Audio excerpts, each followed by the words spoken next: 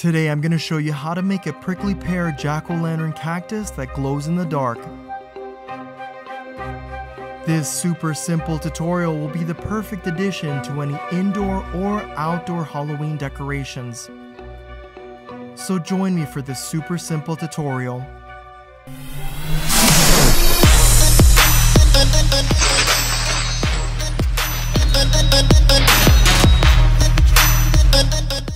To begin making our Halloween cactus, we need insulation foam board. Now they sell these sheets in 4 foot by 8 foot sections and we need a thickness of 1 inch. Once you get your board, you start drawing out shapes for the cactus with a marker. Then we're going to cut it with a jigsaw and then we're going to sand it. Super simple, so let's get started.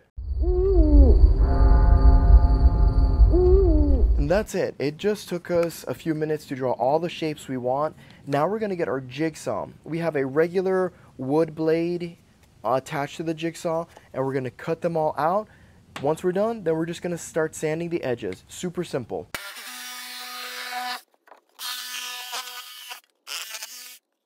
I wanted to take a moment to share with y'all the newest children's book I've written. It's called Oliver and the Lost Flame, and it's a Halloween story based on a young pumpkin named Oliver and his quest to save his town after their enchanted flame was snuffed out, leaving the town of Pumpkin Patch in disarray and afraid. This book is rated for children's 3 to 10 years old, and it's available on Amazon via paperback. The book is also available internationally and has been printed in English, Spanish, and French. So if anyone wants to support me or read it to their kiddos, go check it out. Now that we have our shape, all we have to start doing is sanding the sides. So I'm going to be using 40 grit sandpaper. You can use just a sheet of sandpaper to start smoothing all these edges over here. I also have a sander. I'm going to use a sander to make it easier. With the 40 grit sandpaper, we're just going to get rid of these hard edges. This is what you should have once you're done. You see, the edges are nice and smooth on both sides. It was perfect. Now I got a pencil and I'm drawing a basic jack-o'-lantern face to it. You could also use a jigsaw and go all the way through. The issue is I want to use glow-in-the-dark paint and it's not going to be as dramatic with it being hollow like this, but you could do it like this. I did this with just a jigsaw and I used a marker to outline the face. This way, we're going to be using a Dremel tool. And this little carving bit over here is barely visible right here because this is adjustable, okay? So with it being barely visible, we're only going to make an indentation into this area. So these low areas we're going to paint with this glow-in-the-dark paint so it can be hit with a black light and I think it'll be very dramatic that way. In this situation over here, you would have to paint the inside with black light, but because of the angle, not everything would be lit up and it would be less dramatic, I feel. So we're gonna do it this way. We're only gonna go down maybe an eighth of an inch into the surface, wear a respirator, wear some eye protection, some hearing protection, and let's get to carving.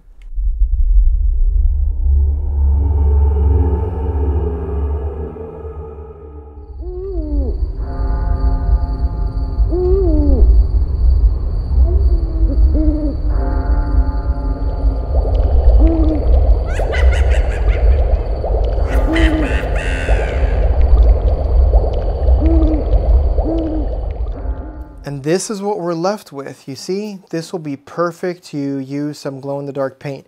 And to attach it to another little leaf like this, we're going to be using these bamboo skewers that we have here. Bam, just like that. So now we're going to paint it with some latex exterior paint. You can get any color green. And we're going to paint everything. Remember, you this part over here is going to be with the glow-in-the-dark paint, so it's probably going to be orange or yellow. So you don't actually need to worry about painting the inside because we're going to use the other paint. But make sure you paint the front and the back. Alright, this is what it should look like once it's been painted green. And look how we painted the inside of it with this yellow luminescent paint. Now this only works when there is a black light shining on it. So it's not going to naturally just glow from the sun. So we'll need to purchase a black light, maybe a 30 or 50 watt black light that'll face this and it'll make it shine. So this paint over here, I'm to link it in the description below. We also have these bamboo skewers right over here, but these are too long, but they were on sale. So what I'm doing is I'm cutting them in half. We're going to use this to pierce the bottoms over here. Bam, go all the way in. And then we're going to start assembling it. Bam, just like this. Whatever shape you want, you can start doing it. We have our hot glue gun to put a little bit of hot glue whenever we put the skewer in so it can reinforce it and then start sticking them like this. We also cut this round right over here. This is two inches in diameter. This is insulation foam board. And I'm using this because we're going to grab our pot, which is right there. And this is gonna go on the inside. We're just gonna push this in and then this will be the base.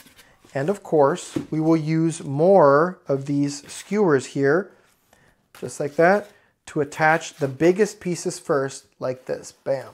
And then you can start assembling it. I think I'm gonna make two different growths, but it might just be one big one. We'll see how it turns out.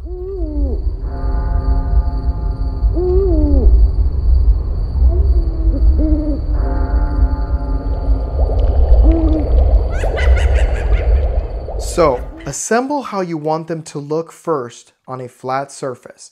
Once you get the style and shape you want, then start piercing them with the bamboo skewers. Do this before attaching it to the base because we want everything solidified before we start pushing down on the base.